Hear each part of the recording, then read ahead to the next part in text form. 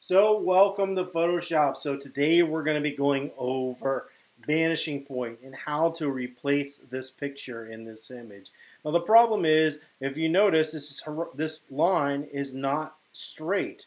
This is shot at an angle. So this part of the wall is bigger and this is smaller. So we need to do the same thing with the image.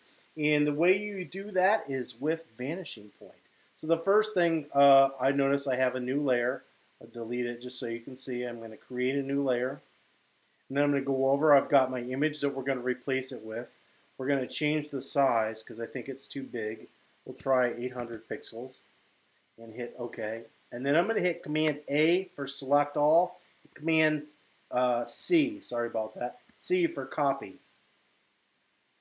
And then we're going to go into our image and go to vanishing point. And then I'm going to zoom in so we can kind of see what we're doing, holding spacebar to move that down. And then I need to set my four corner points, meaning here, here, here, and there. So I'm just going to go ahead and click and drag to set those four points. And don't worry, if you don't get them right, you can go back in and adjust this. So right now it's yellow. It's It doesn't think I did it correctly. So we need to move this and adjust it until we get blue. All right, so now you see that we've set blue. It thinks the points are all correct. I'm going to click outside of here to deselect that. I'm going to hit Command minus just to zoom out. Now I'm going to hit Command V, and that is going to paste our image in. And I'm not sure why I didn't do that, but it's not. So we're going to hit OK. Go back here, select all, copy, go back here, back to vanishing point. It still has our things selected. We'll click out, hit Command V, and there we go. It's pasted our image. So we're going to just drag this over into here, and you can see it's creating that perspective. So if I want to adjust this image here, I can click on this transform button and hold down shift and reduce the size. Might have to do this a couple times.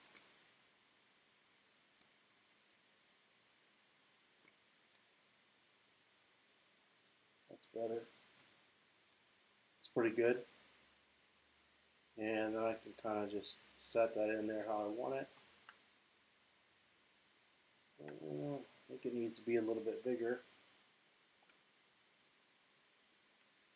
And there we go. I can go ahead and hit OK. And notice our image has been perfectly um, aligned and adjusted to fit that perspective. And because we did that on its own separate layer, we can easily turn that on and off if we wanted. Now, if I wanted to keep that black border, all I would have to do was when I selected the vanishing point, just do that slightly inside that black frame and then I could keep that black frame on there. But that is how you use sort of a perspective control inside vanishing point um, to replace an image. So hopefully that was helpful. If you have any comments or questions, you can leave those below and don't forget to subscribe.